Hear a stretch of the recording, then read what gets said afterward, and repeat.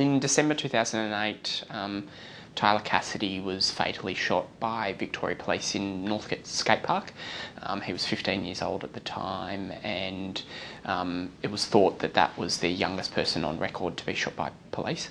Um, and in the coronial inquest um, that followed, um, the Human Rights Law Centre, who we represented, um, made a number of submissions regarding the application of the Charter of Human Rights and Responsibilities in regards to the coronial inquest. Um, so we assisted them um,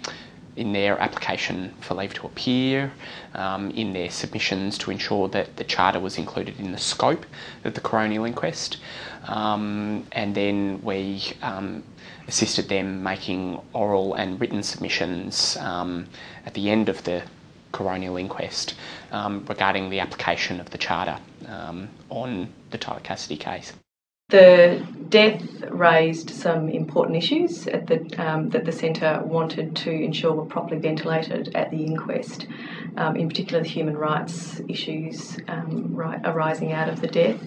Um, so our the, the matter really um, involved issues around the right to life and whether Victoria Police, both in connection with the shooting itself but also the subsequent investigation, had um, complied with its obligations under the Victorian Charter um, in relation to the right to life.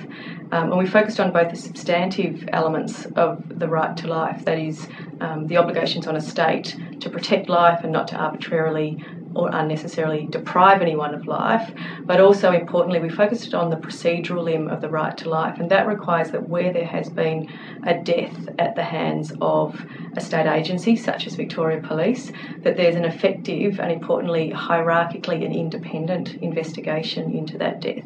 And unfortunately, in Victoria, we have had for some time a system where Victoria Police effectively investigate themselves when there's a death um, resulting from contact with Victoria Police.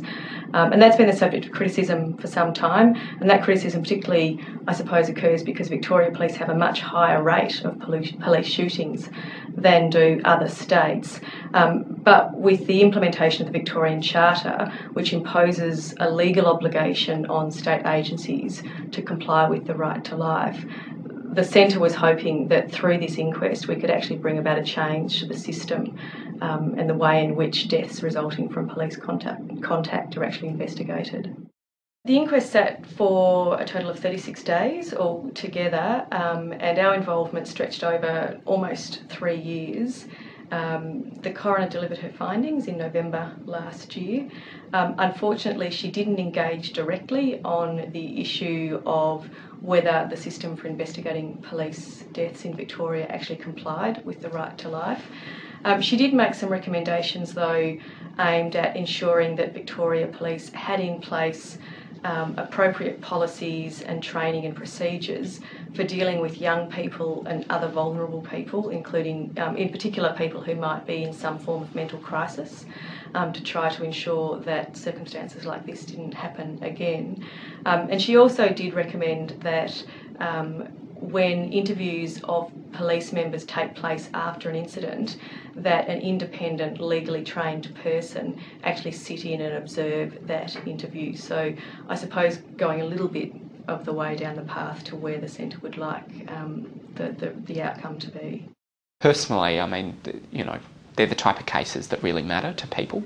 Um, they're about human rights, they're about people, they're about, um, uh, you know, the, the power, um, uh, the role of the state, um, you know, the, the, shooting of a 15 year old boy. So they're, they're really important matters um, and um,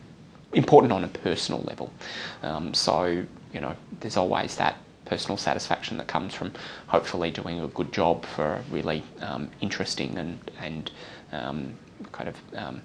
uh, interesting matter for a matter of public importance.